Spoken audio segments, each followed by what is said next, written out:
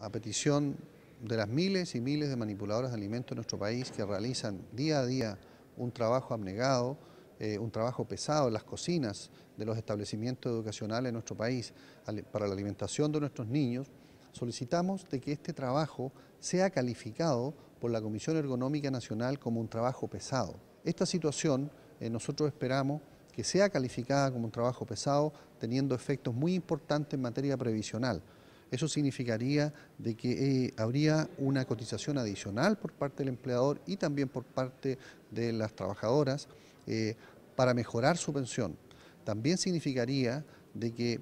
por cada cinco años de trabajo pesado se va a disminuir un año para la edad de jubilación, lo cual también es muy importante para que ellas puedan jubilarse anticipadamente. Estamos confiados de que esta comisión, que está formada por médicos cirujanos especialistas en medicina ocupacional, por médicos traumatólogos, eh, por eh, profesionales y por representantes de los trabajadores, va a evaluar bien esta situación y considerarla como un trabajo pesado que nos parece de toda justicia y así también contribuir a que ellas realicen su trabajo en mejores condiciones.